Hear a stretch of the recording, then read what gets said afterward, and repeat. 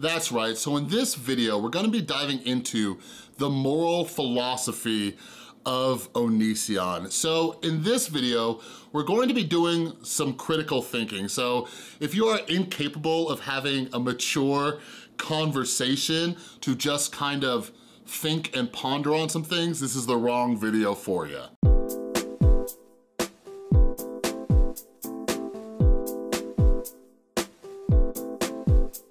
What is up, everybody? This is Chris from The Rewired Soul, where we talk about the problem, but focus on the solution. And if you're new to my channel, what I try to do is take different topics from the YouTube community, from pop culture, and try to see what lessons we can learn from them.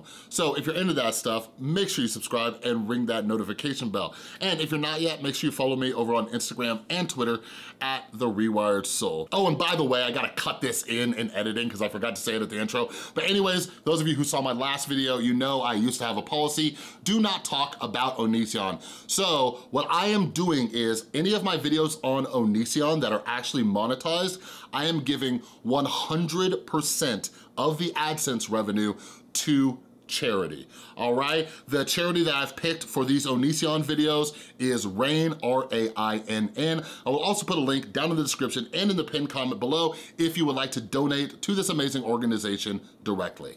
All right, so my channel and a bunch of other creators, like your channels just kind of evolve and grow and change. I think a great example of this is Shane Dawson.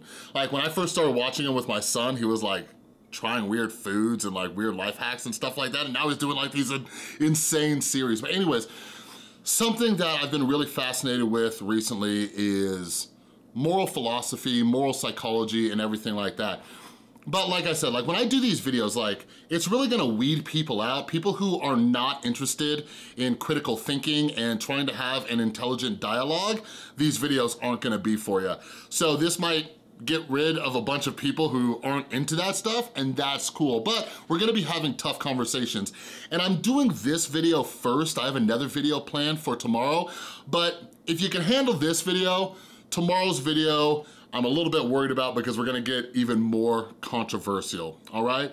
So anyways, I am absolutely fascinated by human nature, okay? Like, especially after going through what I went through this year, um, just seeing how people respond, seeing how people's emotions get the best of them, just seeing how we throw away logic and rationale just like pff, as soon as we get emotional, right?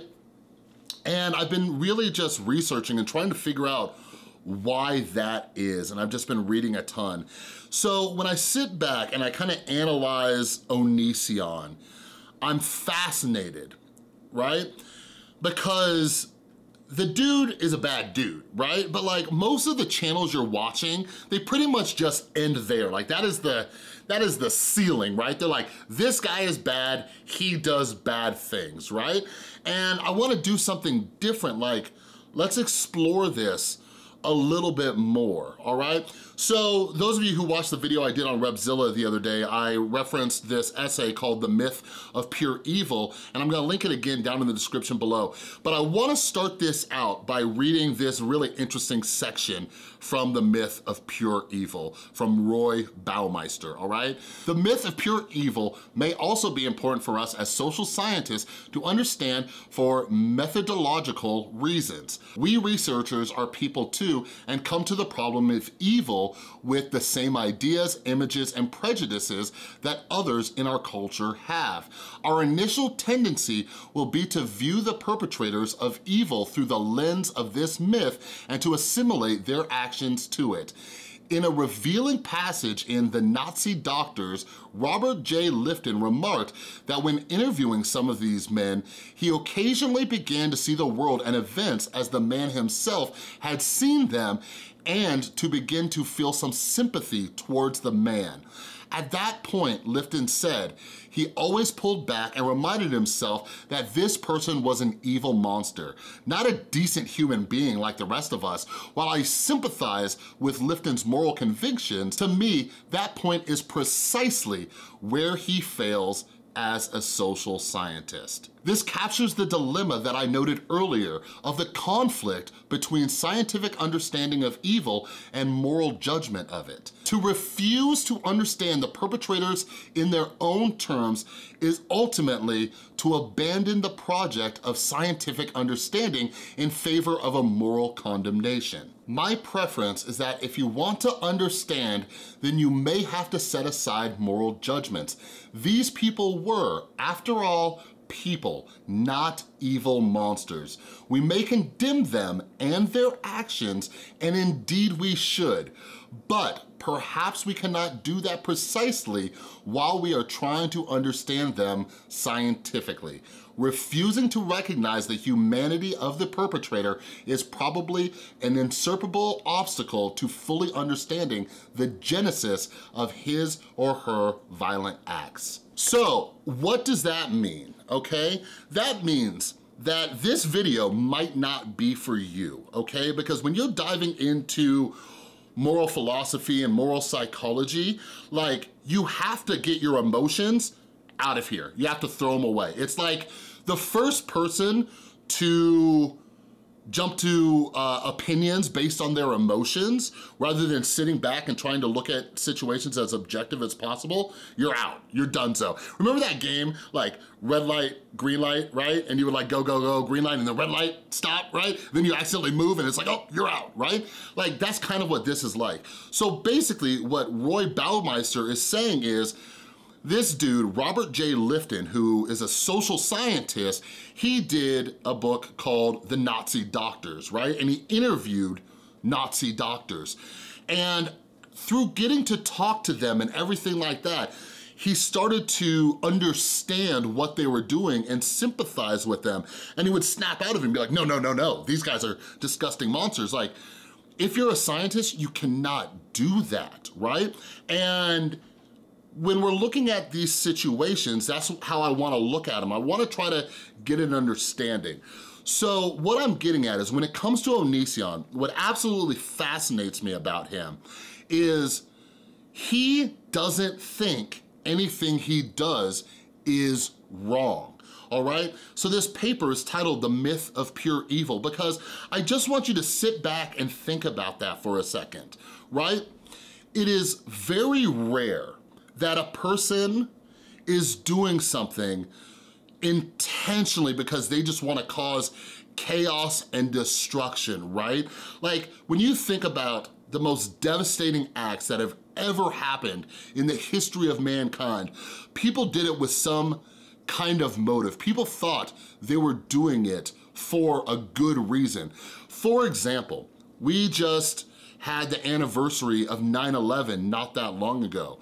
Like the people who did that horrendous act, everybody involved, they thought from their point of view that they were doing something right, all right?